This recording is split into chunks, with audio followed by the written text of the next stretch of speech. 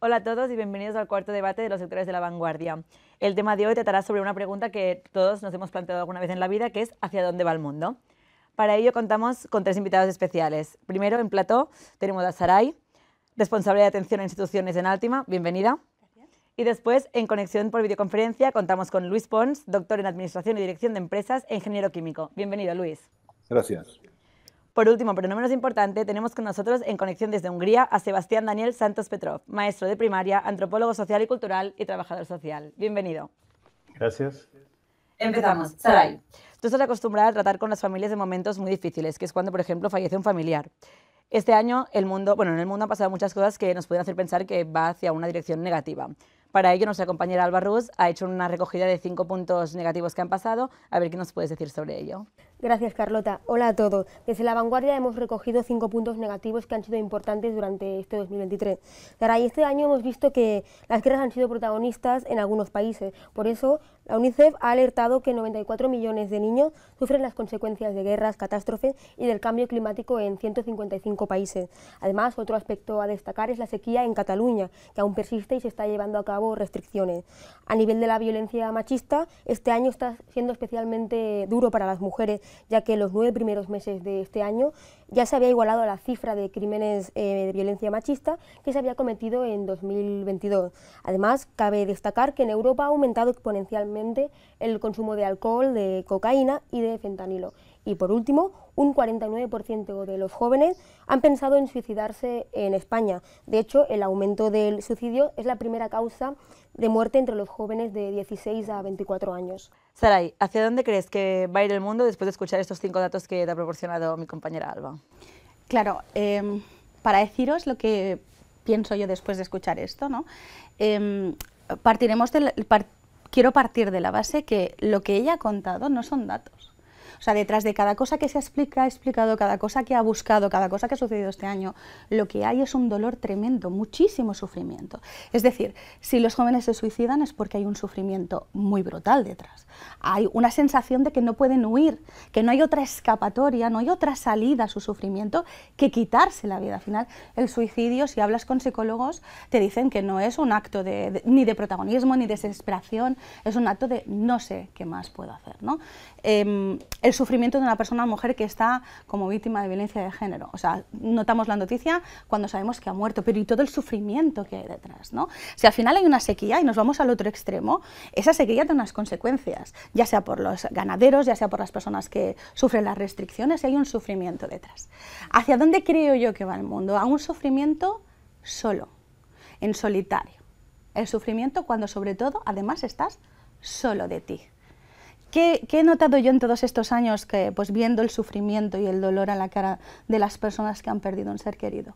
Que cuando han perdido un ser querido, pero ellos han sentido que hasta el último momento se han sentido que cuidaban de esa persona, que se sentían identificados con ellos mismos, que el cuidado que ejercían tenía que ver con su persona, con lo que ellos significaban y era coherente, aunque esa persona hubiera muerto de un cáncer a la persona que han cuidado, con un sufrimiento tremendo, es decir, una catástrofe familiar, con todo o de un Alzheimer, es decir, que no solamente la pierdes cuando mueres, sino que durante todo el proceso de su enfermedad la vas perdiendo cada día un poquito.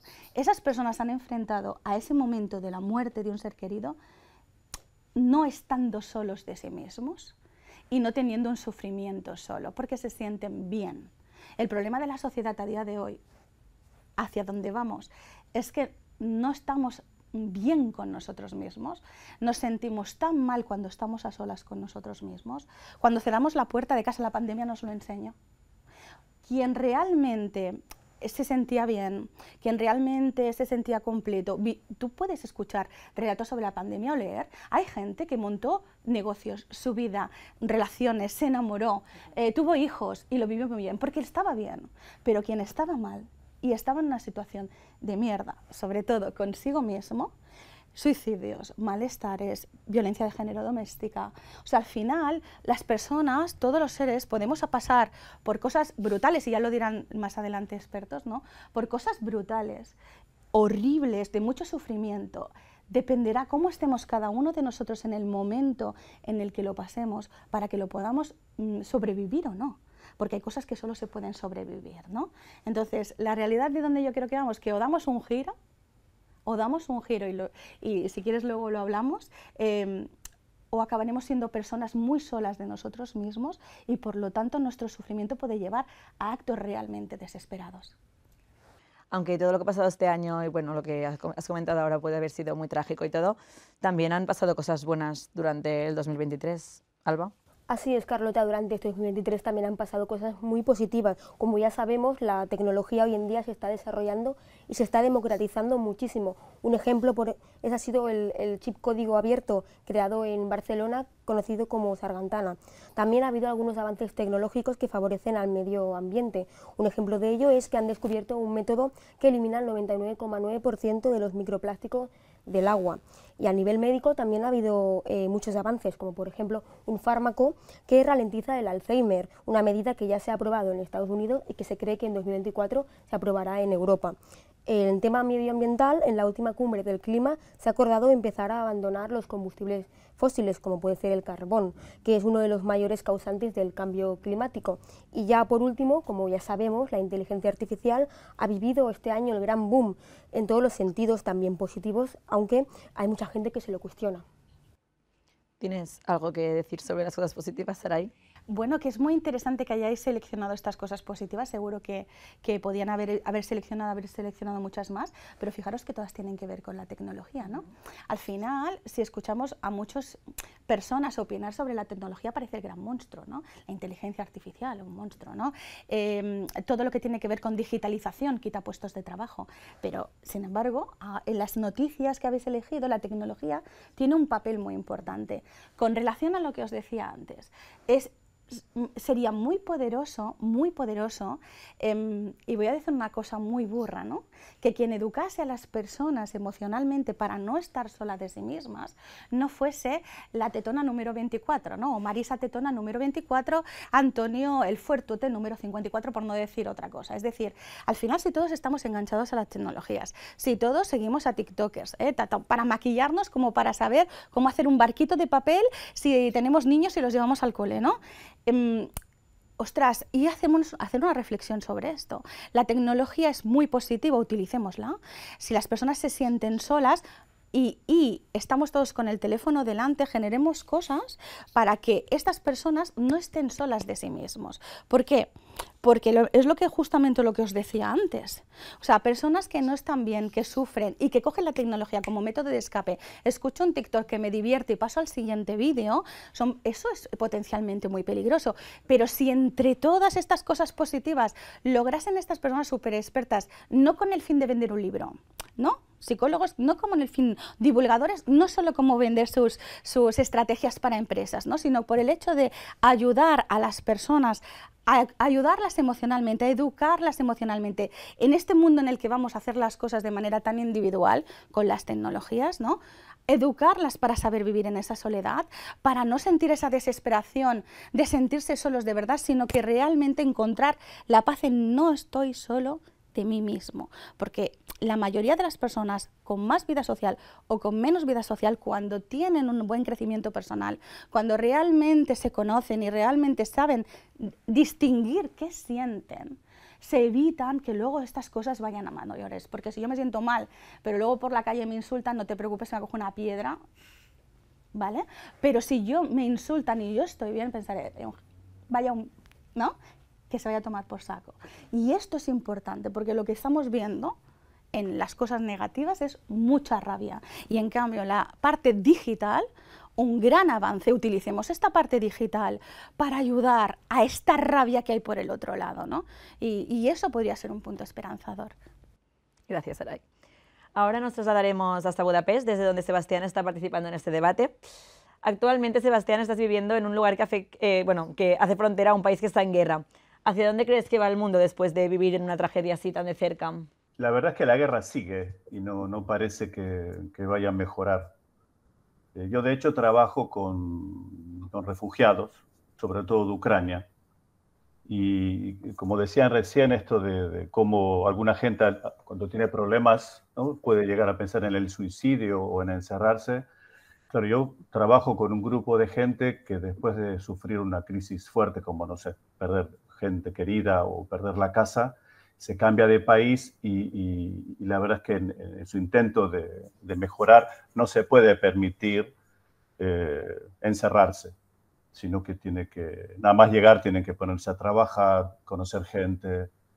Eh, y es interesante porque, claro, normalmente en estos programas que tenemos nosotros de, de integración siempre hay un equipo de psicólogos, ¿no? Para trabajar los temas de, no sé, que tienen pero la verdad es que en general los refugiados son reacios a cualquier terapia, porque un poco está la idea de, que no se pueden permitir eh, dejarse caer, ¿no? Ahora toda la energía tiene que ir para, para trabajar, para tener lugar para vivir y para mandar casa, dinero, por ejemplo, en el caso de Ucrania, a los padres o a los abuelos, ¿no? Que, no, que no pudieron salir porque ya están muy mayores. No parece mejorar el tema de acá. Por otro lado, Sebastián, eh, Hungría está gobernada por uno de los, de los ministros más controvertidos de la Unión Europea, Víctor Orbán, que vosotros en Hungría lo conocéis como Orbán Víctor. ¿Cómo estáis viviendo este año esta situación? ¿Qué perspectivas de futuro tenéis en Hungría con las políticas que está llevando a cabo vuestro gobierno? ¿Y cómo valoras tu encaje dentro de la Unión Europea? Acá dicen Orbán Víctor, pero primero dicen el apellido y después dicen el nombre. Ahí está la, diferencia. Eh, Orbán Víctor lo que tiene es que lo vota tiene la mayoría del Parlamento porque gana las elecciones así de manera aplastante. Eh, lo, ay, no sé, él seguirá. Dicen que, digamos, cada vez hay, hay más gente que ya que no lo va a votar, pero la verdad es que en cada elección repite hace, desde 2010, ¿no? Y hace 13, 14, despacito 14 años. Eh, uno se acostumbra, digamos, a estas cosas. por ejemplo, pero por ejemplo, con el tema de la guerra, ¿no? Eh, Orban, Víctor, su política no tiene que ver un poco que contra la Unión Europea, a favor de Rusia, siempre está aquí y allá, pero por ejemplo, él tiene una postura en contra de la guerra, que a mí me parece bien, pese a no ser partidario de Orban Víctor. ¿no? en eso estoy de acuerdo no, apoyar la guerra. Pasa que ahora, por ejemplo, cuando estalló el conflicto en Gaza, se me pinchó el globo porque eh, Orbán eh, apoya descaradamente los ataques israelíes a Gaza.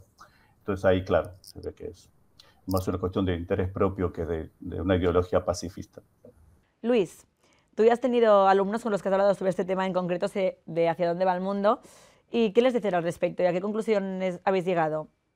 Bueno, a ver, eh, no se llega a una conclusión, se llega a muchísimas conclusiones, ¿no? Porque, a ver, eh, yo creo de que siempre ha pasado, eh, de que estamos en situaciones que yo llamo disruptivas, ¿no? pero disruptivo en el sentido de que se crea y se destruye de una manera casi simultánea, ¿no? Esto es el, proceso este que describían del ave fénix, ¿no? Que, que, el ave fénix vuelve a renacer de, de sus cenizas, ¿no? Entonces, ahora en estos momentos, por ejemplo, estamos, se ha hablado de, las guerras, ¿no? de la guerra de Ucrania y de la guerra de, eh, en Israel. A ver, son guerras, sobre todo la de, Israel, eh, generalmente muy motivada por un tema de un recurso escaso, que es el agua. Eh, o sea, a mí me han contado siempre la gente de Israel que cuando el verano viene seco, los, jóvenes tienen que prepararse para la guerra, ¿no? porque hay, luchas por, por, el tema de la guerra. ¿no? Perdón, por el tema del agua. A ver, estamos en un, tema muy grave, que es el cambio climático. Eh, a ver, el cambio climático se ha intentado desacreditar por muchos eh, rincones, pero yo lo que estoy observando es que poco a poco la realidad es tozuda. Y lo que nos estamos encontrando es que hay una serie de fenómenos que se están produciendo. Uno de ellos también tiene que ver con, el, con esta innovación tecnológica, este cambio disruptivo que yo, yo, yo hablaba. A ver, hace años nadie hubiera pensado en que un porcentaje tan alto del consumo de un país como España eh, viniera de energía eólica. Eh, ahora lo único que falta es un paso más, que es eh, lo que se produce, que se puede producir en excedentes, poderlo almacenar y poderlo usar en, horarios, en los horarios que, el consumo funciona. A ver, yo también yendo un poco a lo que comentaba antes Saray, a ver, cualquier proceso de cambio es muy parecido a un proceso de duelo. Eh, primero lo que hay es una negación. Luego puede haber un enfado, puede haber una negociación, puede haber al final una esperanza. Yo creo que tenemos que tener eh, y mantener un nivel alto de esperanza. Eh, ir saltando las etapas, no todo el mundo puede saltarlas de la misma manera. Y yo creo, yo soy bastante optimista en lo que el futuro representa. Eh, lo que pasa es que, claro, a ver, hay toda una parte de la población eh, que, a la cual hay que dedicarle una atención especial para que no queden excluidos. ¿eh? Y esto es lo que más, me preocupa. Pero el mundo siempre ha sido, a ver, ha habido desgracias, han habido problemas, han habido crisis. A ver, no me resigno, al contrario, estoy absolutamente preocupado y activo en lo que, en lo que puedo. Eh, otra pregunta es que el mundo está teniendo muchas transformaciones como la inteligencia artificial hoy en día, tal como ha comentado Alba. ¿Qué elemento crees que va a tener más peso en el futuro inmediato de la humanidad? ¿La ciencia, la economía o qué aspectos crees que van a ser los protagonistas en este nuevo mundo? Digamos, la que siempre ha dominado es la, economía en el mundo. ¿no? Es el oikos nomos, ¿eh? o sea, la, la economía tendría que dominar el oikos logos, que es más o menos lo parecido, algo parecido, es la, ecología. Eh, porque, a ver, una con la otra no, tienen por qué estar reñidas, ¿eh? economía y ecología. Y luego detrás va, la política, que no deja de ser la ciencia de la conveniencia. Y luego la, innovación y la tecnología, esta va a apoyar el desarrollo económico. Lo que pasa es que el desarrollo humano, mm, vamos a ver, puede ir por otro, por otro lado. Y esto es lo desgraciado. A ver, yo al, final daré un poco alguna, alguna indicación de, cómo vería yo de que se puede construir un mundo mejor, ¿no? Porque, a, ver, eh, las malas noticias ya, ya, las tenemos, ¿no? Entonces nosotros lo que tenemos que, entre todos, hacer esfuerzo para conseguir buenas noticias también, ¿no? Y, y, en la vanguardia, por ejemplo, de hoy, pues, y la de ayer, pues había una serie de buenas noticias que me ha alegrado, ¿eh? como la que he comentado del chip este, que el amigo Mateo Valero en el BSC ha conseguido eh, llevar a, término, ¿no? y, otros casos que, que, conozco de primera mano. ¿no? Entonces, yo, yo, soy bastante optimista, ¿no? a pesar de todo. Lo que pasa que, que a ver, hay, hay, un conjunto de población que, que, habrá que dedicarle un esfuerzo especial ¿no? a través de la educación, evidentemente. Gracias, Luis. ¿Qué piensas sobre lo que ha dicho Luis Saray? tanto de lo que ha dicho Luis como de lo que ha dicho Sebastián, eh, fijaros que, que, los dos, y, Sebastián, que, que, parece como súper resignado en su discurso, ¿no? Al final, cuando le he escuchado decir, no, esto va a ser, es así, va a ser así, y parece que no va a cambiar. En cambio, las personas que salen refugiados, ¿no? que salen de situaciones tan tremendas y tan crueles, lo que tienen es unas ganas de sobrevivir tremendas ¿no? y de ponerse las pilas para enviar dinero a los que no han podido salir de allí, ¿no? a los que están todavía en medio del conflicto, para salir adelante y sobrevivir. Esto, esto da mucha, como ha dicho Luis, una cosa muy esperanzadora. Luego que lo diga él, ¿no? al final, ver cómo reacciona mm, la mayoría o mucha gente que sale de un conflicto así eh, y con las ganas de vivir y de autosuperarse, o sea, a mí me da muy buenas sensaciones de decir, es que hay una canción que dicen que no todo está perdido, yo vengo a entregar mi corazón, ¿no? Tantas cosas que se llevo el río, yo vengo a entregar mi corazón. Al final, ostras, hay, muchas cosas buenas por hacer. Em, eh, si adelanto un poquito cosas, eh, ya lo he dicho ¿no? en mi línea, al final yo creo que si personas que son realmente inspiradoras, personas que realmente están mecen la cuna, es decir, están detrás y, apoyan ya sea como antropólogos, psicólogos, gente que realmente tiene un discurso que puede ayudar y que puede educar y que puede em, mejorar la salud emocional, la salud mental, eh, acompañar a la gente que está, no solo a los jóvenes, eh, porque al final siempre decimos, no, es que los que están enganchados a Instagram o a TikTok es la gente joven, esto no es verdad. Yo tengo que decir que me miro todos los make-up, no make-up de TikTok y aprendo muchísimo, pero de la misma manera que me veo TikTok para aprender cosas, cuando giro mi dedo veo que aparecen otras muchas personas opinando que tienen 100.000 seguidores, 50.000 seguidores, es decir, gente que día a día les escucha y que dicen barbaridades. Barbaridades que pueden hacer mucho daño en mentes de personas que no estén construidas. Y que no estén construidas no es porque sean jóvenes, sino porque no estén construidas, que para no estar construido cualquier edad vale, creo, creo yo. ¿no? Entonces, eh, para mí algo esperanzador es lo que ha dicho eh, Sebastián, que después de una cuestión dura la gente siga teniendo ganas de luchar por los suyos, por los que quieren, porque tienen su porqué, su porqué, y, y ayudar a construir a las gentes que no tienen un porqué, que realmente les ayuden a sentir, salir de ese aislamiento, soledad y sufrimiento, ayudarle a que lo encuentren para que, para que no haya tanto rabia, tanto odio que se transforme en negativo luego en sus conductas. Gracias, Saray. ¿Y tú, Sebastián, qué opinas de lo que ha dicho Saray y lo que ha dicho anteriormente Luis? Eh, bueno, yo soy de Argentina, entonces la verdad es que me, hizo ilusión que, que, hiciese mención a una canción de Fito Páez. Eso me, hizo tilín, porque lo escuchaba así, no sé, en los 80 o algo así. Cuando empezaba a tocar con Baglietto, creo que era. Eh, sí, yo, bueno, yo viví en España muchos años y en, algún momento, antes que apareciesen estos movimientos así de, ¿cómo, cómo eran? Cuando tantos jóvenes salieron a la calle de in, ¿no indispuestos. Eh, inconformistas. Inconformistas o, bueno, que fue insurgentes o... Indignados. Indignados, ahí está. Pero antes, que, antes de eso, yo tenía la sensación en España que la sociedad, como extranjero, ¿no? Que estaba muy aburguesada. Mis compañeros de trabajo, no sé, todo era lo que te dé la tarjeta de crédito. Entonces, en ese entonces yo pensaba que realmente eh, en los inmigrantes iba a estar el motor que iba a desencadenar un cambio porque la gente venía, bueno, supongo que yo incluido, ¿no? Con mucha energía.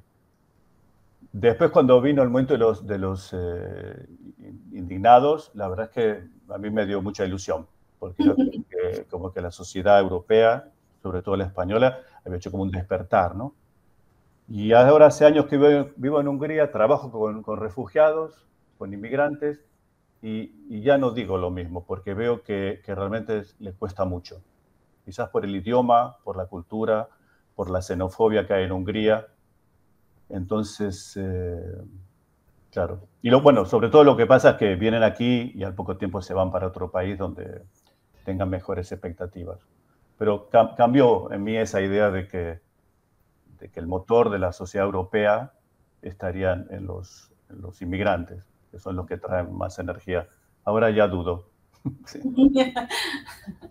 por, mi experiencia actual, ¿no? Luis, ¿quieres añadir alguna cosa a lo que A, ver, una buena amiga mía argentina, precisamente, ¿no? me, citaba de que eh, el alma eh, no viaja tan rápido, tan fácilmente como el cuerpo. Entonces, este es el problema de los inmigrantes, es el mito de, Ulises, ¿no? Que el, cuerpo viaja, pero el alma se queda en, en Ucrania o se queda en Argentina o se queda en el país del Sahel, del cual eh, los inmigrantes vienen. Y entonces es muy duro. Yo he visto y vivido casos de, colegas míos. ¿no? caso, voy a contar un caso de un, amigo checo que salió de la primavera de Praga eh, con el dinero justo para una cerveza cuando llegó a Canadá. Entonces lo que hizo fue beberse la cerveza, evidentemente. ¿no?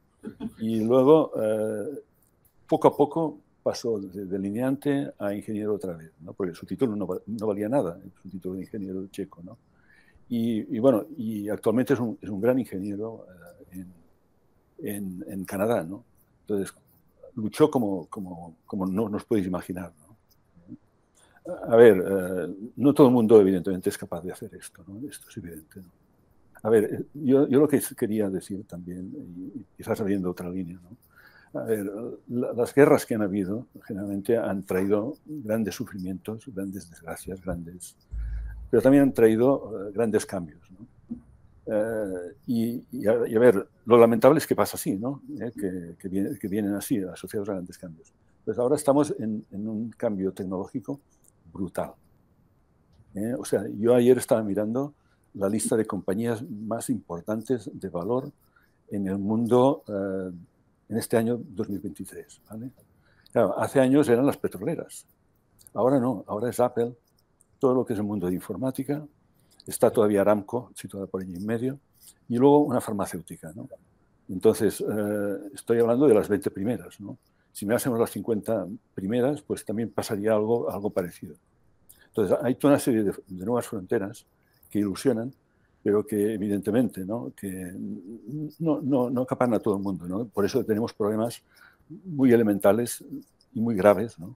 como es el acceso a los recursos naturales, el uso de los recursos naturales, el uso de los plásticos, el, mal reciclado que a veces hacemos de, las cosas. Bueno, a ver, este es un tema que, que puede angustiar, pero también tiene que, que esperanzar, porque yo creo de que, de que hay, hay potencial en el mundo y hay recursos en el mundo que si se ponen a trabajar pueden resolver muchos de estos problemas. Lo que pasa es que, claro, esto a nivel micro, a nivel individual, pues yo estoy de acuerdo con Chara que, evidentemente no, es muy difícil superar. ¿eh? En muchos casos es muy difícil y, en fin, eh, no sé qué decir más, ¿eh? porque yo, estas cosas también me, impactan.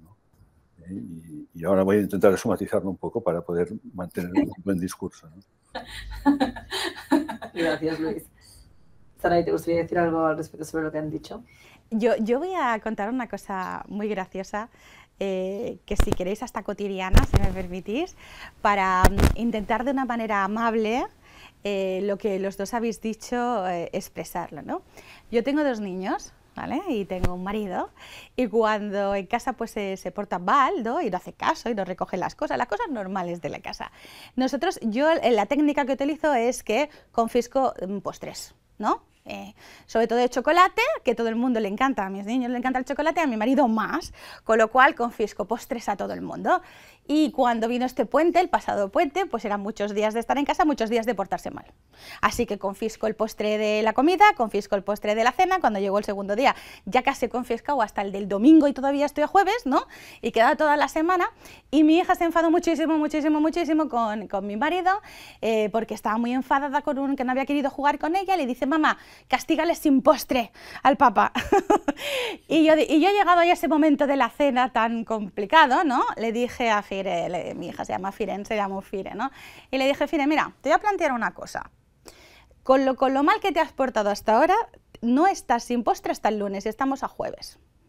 Llegados a este punto, podemos hacer dos cosas. Una, todo el mundo sin postre hasta que se acaben las vacaciones, o amnistía para todos, y todo el mundo esta noche cenamos el chocolate del calendario de Adviento y se ha acabado, pero nos tenemos que perdonar todos y tenemos que empezar de cero algún punto, porque si no perdemos todos cariño, tú que eres la que quiere que castigue a Javi, decide tú. Y ella me dijo, bueno, se lo pensó, ¿eh? no fue una decisión que dijo rápidamente, ¿eh? tiene ocho años y me dijo, vale, pues postre para todos y nos lo perdonamos. ¿Qué quiero decir diciendo este ejemplo? Que si las personas que toman las decisiones no pierden nada, tanto si decide una cosa como si decide otra, las decisiones son muy fáciles de tomar. Pero cuando las decisiones que tengo que tomar, oye, a mí me afectan, tocan mi piel, me toca a mí, ¿no? Y ahí está el gran problema que creo yo de cosas tan serias que habéis estado hablando vosotros, ¿no? Y como a mí esto, mm, pensar que yo no tengo que tomar la decisión y que no tengo parte en el asunto y que no puedo hacer nada por ello, me causa, me causa mm, un gran terror porque me deja totalmente quieta, inmóvil y ahora qué hago, ¿no? Y con una gran frustración, pues me gusta pensar en qué puedo hacer yo. Y cómo puedo hacer mi vida más amable. Y si me apuras, cómo puedo hacer la vida más amable de los que me rodean, ¿no? Entonces, por eso ahí mi visión de que si los demás tenemos un porqué, un porqué, pues, y nos ayudan a verlo si no lo hemos visto todavía, pues ayudará a que a lo mejor, quizás, no sé, pues la vida de los que no tomamos las decisiones sea más fácil, ¿no? Gracias, Aray. Mira, yo, si, me permitís, ¿eh? una, de las, cosas que considero más importantes es el elemento confianza, ¿no? Eh, trust. ¿no? A ver, fijaros que eh, el presidente de, Rusia en estos momentos no, le da la mano a nadie, ¿no? no le da la mano a nadie. O sea, a ver, el handshake, que dicen los americanos, a ver, es lo que yo encuentro faltar, por ejemplo, en el, en el, encuentro de hoy. ¿no? A, mí me, me, encantaría poder dar la mano a, a mi amigo Sebastián ahora y a mi amiga Sara ¿no? y a mis amigos de la vanguardia. Esto es lo único que, encuentro faltado.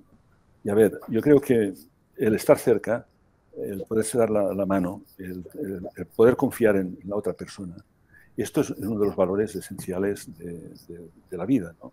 Y entonces una sociedad que no está construida en base a la, confianza, pues eh, vamos mal. ¿no? Eh, o sea, podemos ser muy inteligentes en innovación, pero si no somos inteligentes en confianza, inteligentes en, llegar a acuerdos, etcétera, etcétera, pues, eh, pues vamos para atrás. ¿no?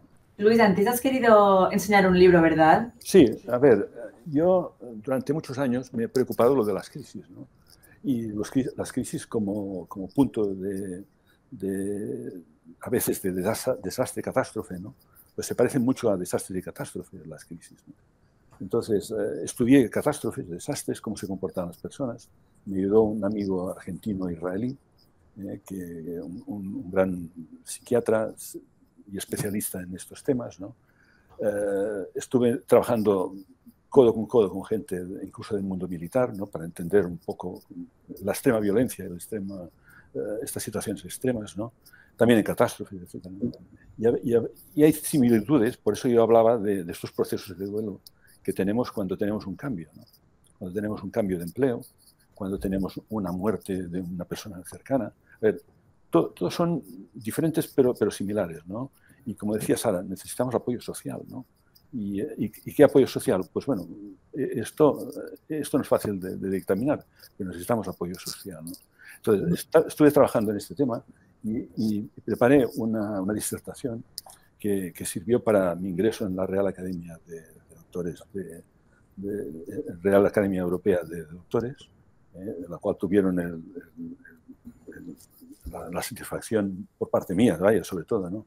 de, de, admitirme como académico correspondiente, ¿no?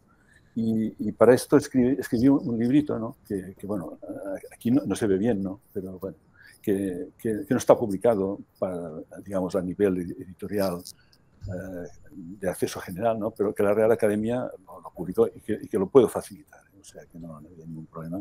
Y que habla precisamente de los retos de, tecnología y sociedad en el siglo XXI y habla de lo disruptivo, ¿no? De, de, esto que rompe, ¿no? Y, aquí eh, menciono pues eh, todo lo que tiene que ver con la inteligencia artificial y luego con uno de los grandes problemas que tenemos, que es el de la ética. evidentemente, o sea, a ver, todos nos preocupan los hard, digamos, ¿no? Pero los soft también son muy importantes, ¿no? Y la ética, los valores, ¿no? Es una cosa que, a ver, eh, eh, un periodismo sin valores, evidentemente no, no, no es periodismo, eso es otra cosa, ¿no? Entonces, bueno, pues yo agradezco que la vanguardia aplica un periodismo con, valores. ¿no? Eh, entonces, bueno, un poco para sumarizar y para dar paso a que, a que otras personas también puedan, eh, puedan dar, dar, su parecer, ¿no? que, que, que me interesa, evidentemente. Bueno, pues muchas gracias a todos por estar aquí y nos vemos en el próximo debate. Gracias a todos. Bueno, yo quería decir una cosa última, ¿no? Perdona, ¿no? Sí. Que, que, a, a, ver, yo, yo creo que es muy importante tener alegría, pasión por lo que se hace, ¿no? y, y, trabajar en base a la confianza. ¿no?